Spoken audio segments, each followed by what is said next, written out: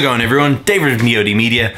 Let's try that again. How's it going everyone? David from DoD Media. Today I want to show you a very quick tutorial because I need to hop on a flight very quickly, but what I want to show you is how you can create that awesome blurry letter title sequence that you saw in that little montage, montage, montage, montage just there. And it's really quick to do, it's really easy to do, so all you need is a working copy of After Effects. Let's go.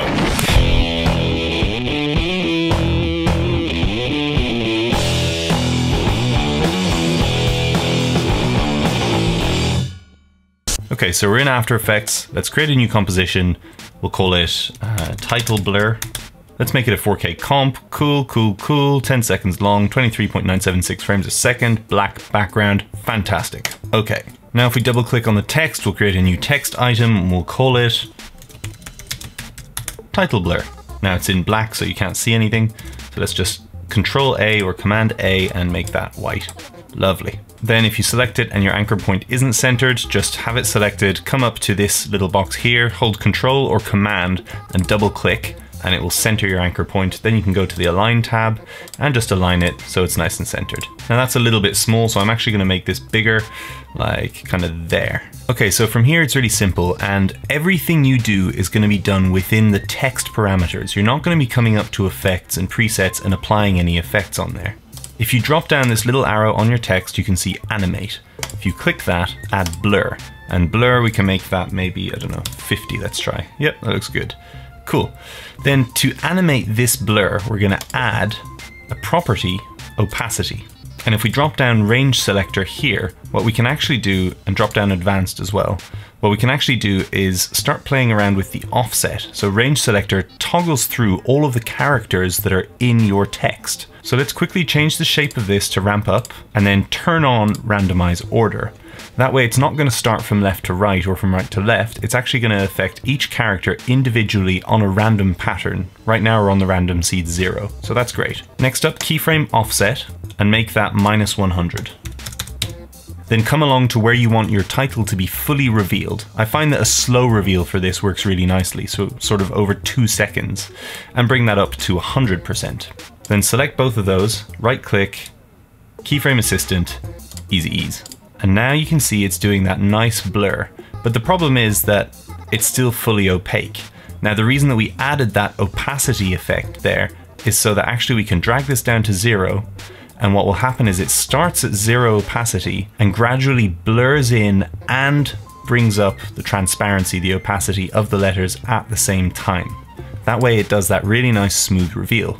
Okay, then select these two keyframes, hit Controller Command C, come to the end, hit Controller Command V to paste them, right click, Keyframe Assistant, time reverse keyframes, and now what you have is from the beginning, it fades in with the blur, la la la la la, and then it fades out with the blur. The fade out, again, I quite like it to be longer even than the intro, so maybe three to four seconds. I'll make it four seconds. Because that way the viewer has time to kind of read it and they're still picturing it in their head as the letters are blurring out.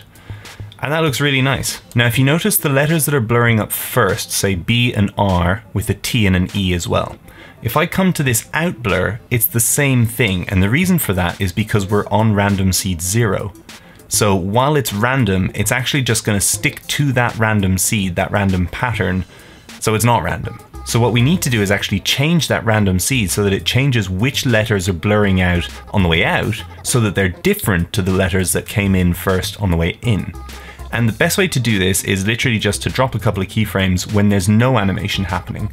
So up here, when your full title is revealed, there's no blur, there's no opacity change, just hit that random seed keyframe, skip one frame, and then change that to random seed 1 or random seed whatever suits you. You can toggle through random seed 1 to find, you know, the, the combination that you really like, but to be honest, I'm just I'm quite happy with one. Great. And now it comes up TBRE as the first letters and it fades out TLLR as the last letters. This is practically done, but the problem is there's not any movement in the title. So what we could do is we could either scale up the entire title by selecting the layer, hitting S, coming to the beginning, hit the keyframe there, hit O to go to the end of this layer, and bring it up to maybe, I don't know, 105. And that way it will scale up very gradually, like that. Lovely. Another thing we can do to make it slightly more interesting is to drop down this arrow again, come to animate and go to tracking. And what we're going to do is we're actually going to animate the tracking. Now tracking is the distance between the letters without actually increasing the scale of the letters. So if we hit that keyframe on tracking amount, again hit O to go to the very end of that layer, hit another keyframe, and let's track it maybe 15 and we don't want to make this easy ease or the scale because we want it to be a very constant thing. We want it to be a constant animation from start to end so that it doesn't look like it's suddenly speeding up or increasing its scale so that it looks constant. And now if we play this through,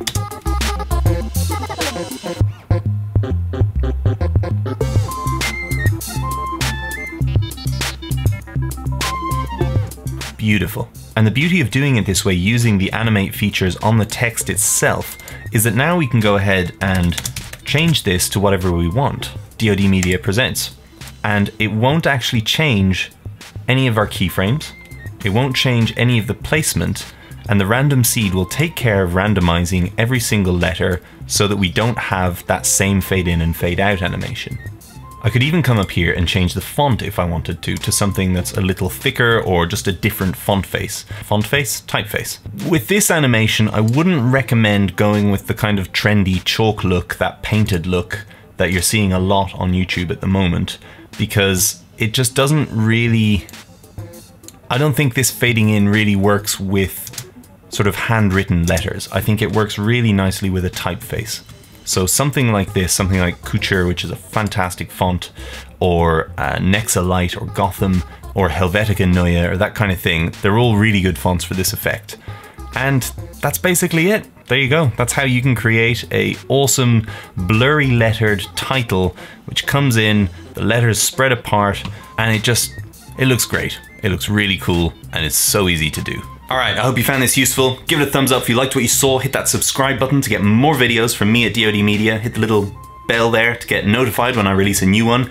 Trying to aim for every Wednesday and Saturday at the moment. See if that works, see if it doesn't. As always, leave a comment in the comment section. If I find it useful for me or for others, you may win something free from my store. See you in the next video. Alright, what do we need? What do I need? What do we need? DSLR gonna go with the Canon 60 and 35 Sigma. Mmm, lovely lens. Good old trusty Gorilla Pod.